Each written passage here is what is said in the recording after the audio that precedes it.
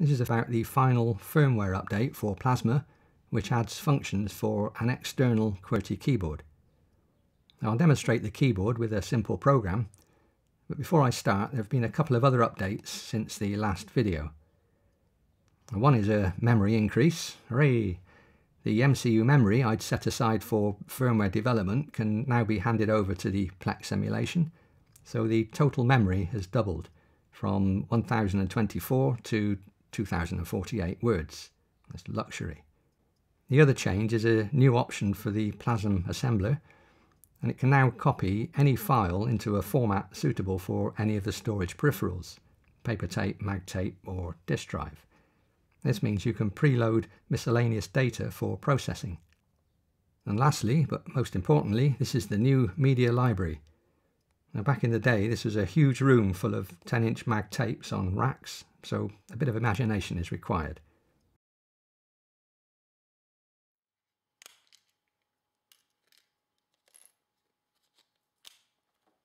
So to tie all these together, I'll get Plasma to print out the source file for the keyboard demo program before we discuss it. I'll use Plasm in the new RAW mode to copy the source file into magtape format. The dash R says RAW and the G is magtape.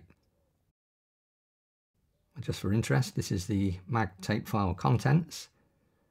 Each block has a 16 byte header with a checksum and then the data section where you can probably recognize some of the source code. And this is the start of block 2, again with its header followed by the data and so on.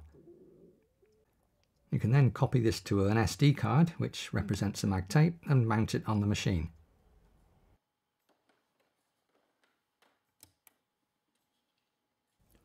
I'll just load a paper tape program written earlier, which will list the contents.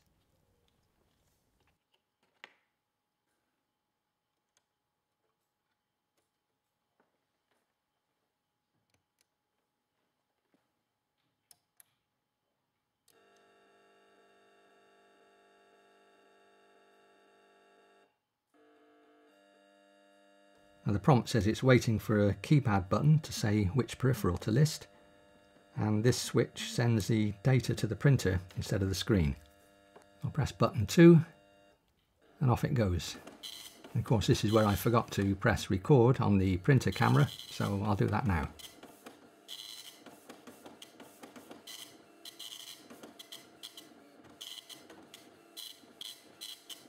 This might take a while so I'll be back in a tick.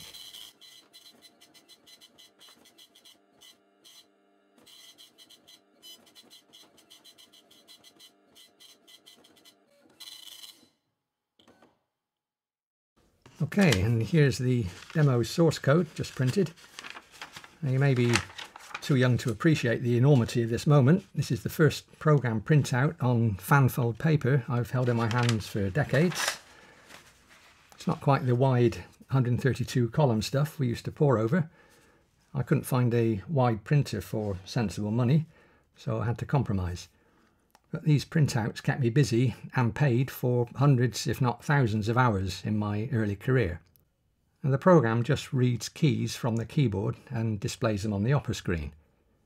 There's an earlier video which covers the Plex instruction set, but I don't think I've covered the assembler in detail, so I'll take a quick detour through some of the features used in this demo. And the assembler Plasm is fairly basic, and just uses a single prefix character to distinguish items. The semicolon, which is a standard comment symbol, means that the rest of the line is ignored. The percent symbol is a directive, and the letter after it denotes the type of directive. S says source code, and the number 1, 2 or 3 corresponds to the three instruction sets supported by Plasma. 1 and 2 are the Toy A and Toy B emulations, and 3 is Plex. The instruction mnemonics and syntax are different for each one, so Plasm needs to know what to expect. The squiggly brackets here indicate comments which span multiple lines, and a hash symbol is an equate, uh, which equates a name to a number, so you can use that name in your code for clarity. Here's an example, the tabs spacing is set to 8 here, so I can use the name tabs elsewhere in the code. Now this I directive specifies an include file, so you can split your source across multiple files. Now this particular file, plex functions, is where I've put all the equate definitions for the I.O. functions. So for example, instead of saying hex 2A00 to clear the Oper screen, you can just say op clear, or whatever you decide to call it. Right, the M directive defines a memory address for all subsequent statements. And you may remember Plex has a fixed store region from address 0 to 15, which is hex F. So normal user memory starts at address hex 10. A dot prefix indicates a label. So this bit of code here shows a system I.O. function, clear the opera, and all peripherals run asynchronously to the CPU, so the code loops back to this label if the opera was busy at the time. And finally, the D directive, right at the end,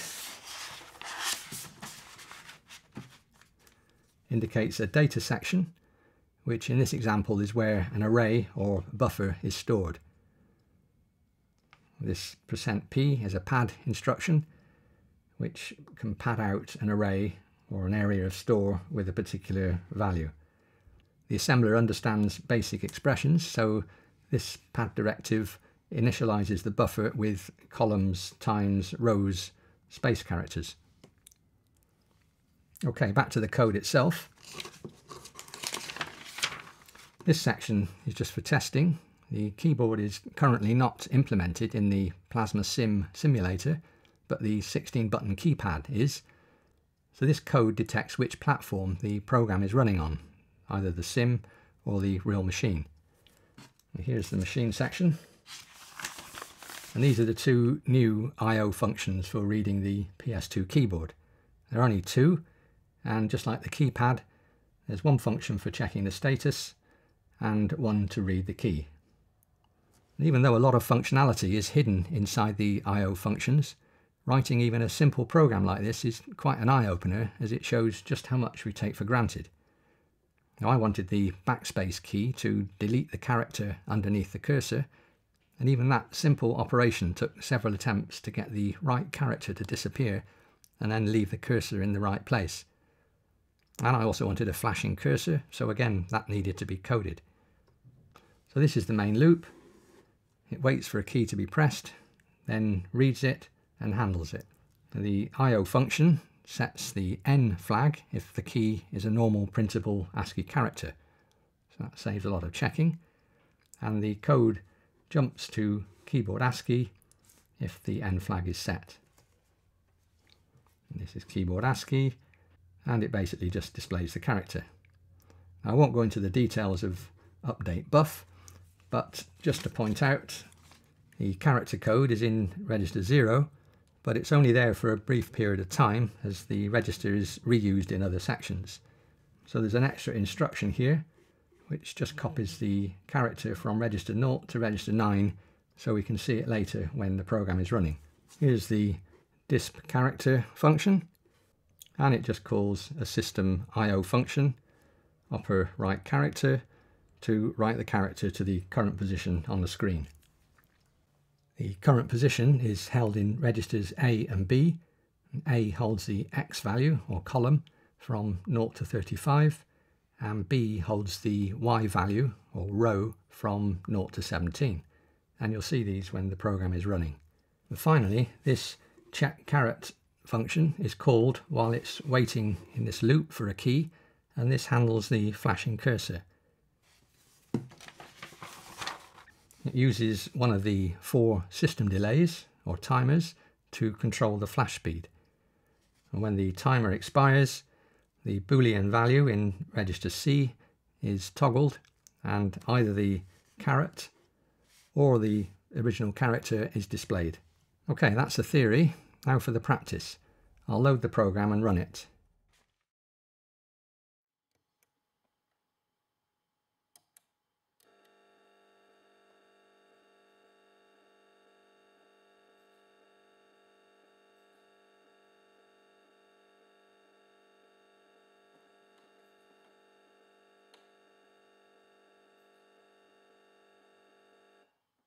Right, here's the flashing cursor waiting for a key. And here's me trying to type something sensible while leaning around the camera tripod.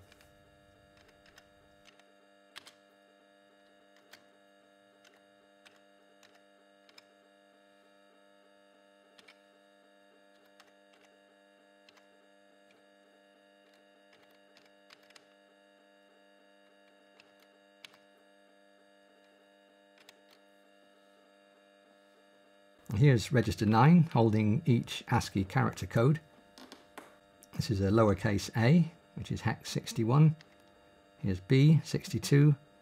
C is 63, and so on. Here are the numbers. 0 is hex 30.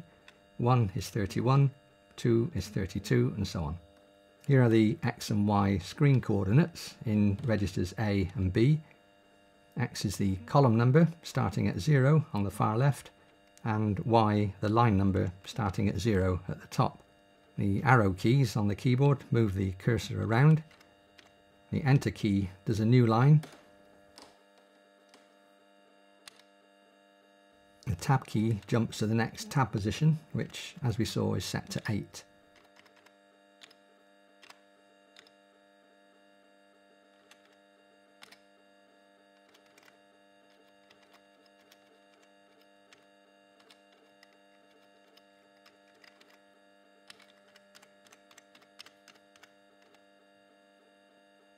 Here's the backspace key, deleting characters.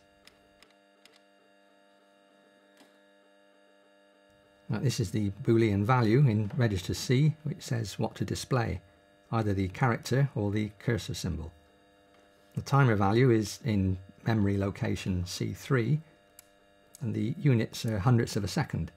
It's currently decimal 30 which is hex 1e and if I patch that to say decimal 10 which is hex A, you'll see the cursor flash faster. The timer value only takes effect on the next key press. Now the cursor symbol itself is in location BA, so I could change that from B0, which is a rectangular blob, to 1, which is a smiley face.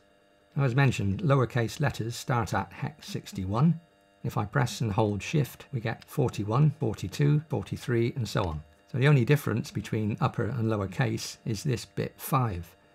So a well-known trick for converting one to the other is to set or reset bit 5, depending on which way you want to convert. Okay, that's the user program view of the keyboard. What about the underlying I.O. functions? How do they work? Well, I chose to use an old school PS2 interface as this seemed simpler than USB but just like the old school Centronics printer interface, the information on the internet is not 100% accurate. In the end, it was simple, but only after more head scratching and probing around with the scope. And it turns out these keyboards contain a surprising amount of intelligence. The computer support department, where I used to work, referred to keyboards and mice as consumables. They just threw them away if there was a problem, which is a shame as they're not just a matrix of switches. The first thing you discover is that they don't assume anything about the individual keys, which could be a good or bad thing depending on your point of view. These are the scope traces direct from the keyboard for letters A, B and C. The top trace is the clock signal, the bottom is the data. And no matter how you count the highs and lows, you won't see the code patterns 61, 62 and 63 we saw earlier. So if you want nice ASCII character codes, your driver program has to do the conversions. But the advantage is that the same keyboard hardware can be used for different countries with different key layouts. The keyboard also does nothing special with the shift keys. As far as it's concerned, they're just regular keys. Again, this makes it very flexible, but means the driver has to do more work. And this is where the intelligence comes in, the keyboard gives you several options for detecting key states. The simplest option is to just send a unique code when a key is pressed. But this is no good if you want to check if multiple keys are pressed at the same time. So there's another option to tell the keyboard to send additional codes when a key is released. This means you can check if a shift key, say, is held down when a letter key is pressed, in which case you would convert the letter code into uppercase which is where that bit 5 trick comes in handy. And if you're not bothered about multiple key presses, you can keep the interface simple and turn this option off. There's a third hybrid option where different modes can be applied to individual keys as opposed to all of them. All of this means you can configure the keyboard for different applications.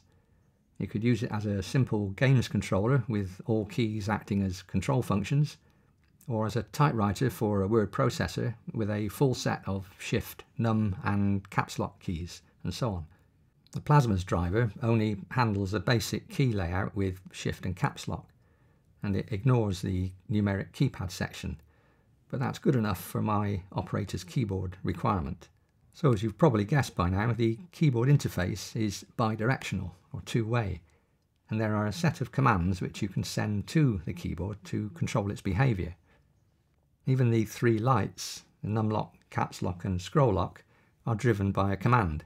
They are not handled automatically by the keyboard. And this makes sense given its strategy of leaving everything open-ended. Here's the plasma driver toggling the caps lock light whenever the key is pressed. The state is held within the driver and is used to convert letter keys to upper or lower case before passing them up to the user I.O. functions. Now if you have no interest in the numlock or scroll lock lights, you could use all three lights for a more noticeable caps lock indicator.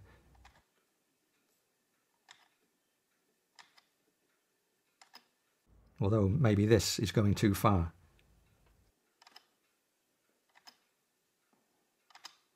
There's one other command I want to mention, which controls the Typematic feature. This is where key press codes are sent repeatedly if a key is held down. You can see this on most standard computers. There's an initial delay before the repeat begins and a repeat rate.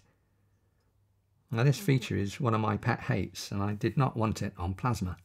So many times I've seen beginners get frustrated when they're not used to a keyboard they hold keys down a fraction too long and suddenly get a load of repeated characters. Now I knew you could change these settings on a computer, but I did not realise the feature is actually built into the keyboard itself, or at least it is on these old PS2 models. So Plasma's driver turns this feature off, and I can now press and hold a key as long as I like, and you just get a single character. Perfect. And if I change my mind later, I'll probably squeeze in another I.O. function to make it user controllable. Right, that's it for now. Hope that was interesting. And in case you're wondering, the video title refers to a short science fiction story which has stuck with me since childhood. My uncle had a huge collection of sci-fi books, and it used to be a real treat for us kids to read these back in the 50s and 60s. This one was by Fredric Brown, who had a fascination with typesetting machines. He also wrote another intriguing one called The Angelic Angleworm. Links in the description below. Okay, that's really it. Thanks for watching.